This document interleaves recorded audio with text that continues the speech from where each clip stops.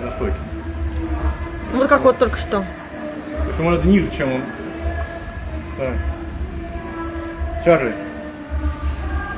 Ой. Браво, молодец. Еще разочек.